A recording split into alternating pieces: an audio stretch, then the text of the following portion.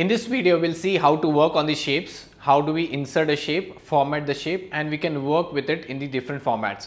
So let us see that. Very first thing, if you want to insert a shape for the first time, you can go to the insert tab and you see there's an in the illustration group, you have the shapes option. You just click on the drop down you'll get variety of shapes available. Any shape if you pick up, let's say if you if I pick up any uh, shape, let's say this one. So I'll pick up and it, it automatically draws or else you can also draw with your mouse itself, right? And now I'll just bring it down like this yeah this is the shape given here. So once you click on the shape what happens is the shape is selected and you'll get a format tab that is nothing but a drawing tool. In this format tab you can always format let's say color, border color and so on. So I have selected right now if I want to change the color I can select from this shape style you can see this. These are the inbuilt styles by uh, Microsoft Word you can see you can select any one of them if you do not like the color of that, if you want to give your own color, you can choose from this shape fill like this. If you click on this shape fill, these are all the colors. So if you select any one color, you can give it. Still, if you want, you can give some pictures also. You can select this picture. You can insert any logo, any picture from here also. Similarly, there is some texture and gradient. You can choose whatever you want. Next, if you see it is surrounded by yellow border. If you want to change the color of the border, let's say if you want to change the shape outline, let's say red line and I'll click on OK. So you see that's a red line which is the border, right? If it's not visible, you can increase the thickness of this border. So I'll just click on this shape outline, go to weight and I'll click on this uh, 6 point and you see now it is visible. That is the thick outline which is given here, right?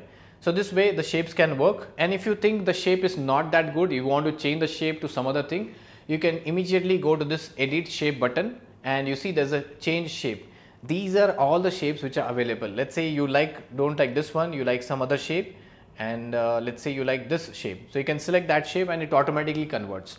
At any point of time, if you think you need to add some text to your shape, right? So nothing you have to do is already the shape is selected, use your keyboard to start typing. So I'll write here as uh, shapes in Word, kind of some text you have written, shapes in Word and you just press escape key. If it is visible, well and good. If it is not visible, the text, I can increase the font size, same like I increase the font size in Word. I can go to the home tab and click on this increase size of the text. You see the size of the text has increased. Still if you think it has to be modified, the text has to be modified. So you can go to the format tab and you can choose this word art styles. I'm talking about text inside the shape. You can choose the word art style and observe what is happening here. I'll select this blue color. Also I'll select some other color, this one. So the word art style changes. Similarly, these are inbuilt word art styles. These are some inbuilt word art styles. If you want, you can choose your own style by clicking on this uh, you know text color. So if you select here let's yellow color this becomes yellow color. Similarly if you want to give some rotation so you can select from here that's the again some other word art style and you can select this different rotation levels. I usually choose this one as 3D transformation and on the left hand side if you see right hand side these are different transformation you want text to be tilt you can select. So I'll select this one and you see it's changed right it has come into this shape. The the text has been come right? So it can be worked into different uh, or you can say different ways itself. So this is when the shape is independently into one place right? Now uh, if you want to give a proper position let's say the next one is if you want to give a position to your shape at some let's say left corner bottom corner right or somewhere. So you can use this button here in the uh, format tab. So i'll just click on that and i can go to this format tab on the right hand side in the format tab, you see there's a position.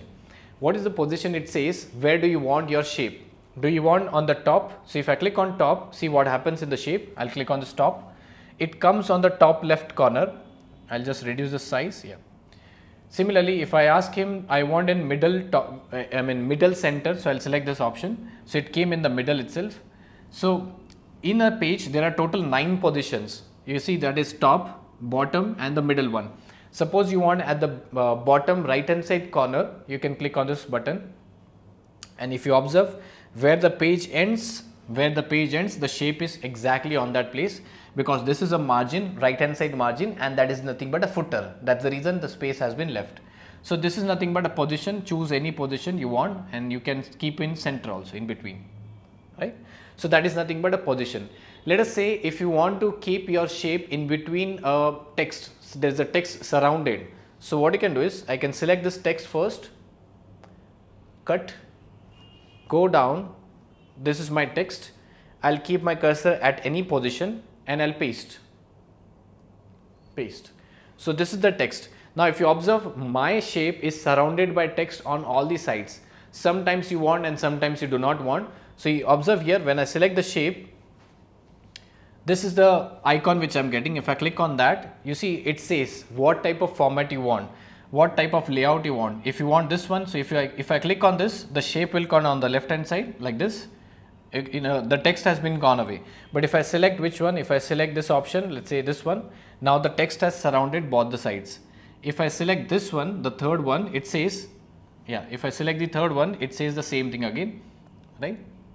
So, same way, if I click on this shape, go to format, I am talking about this wrap text option and more better way they have given here that is the square, tight square, through and the top and bottom.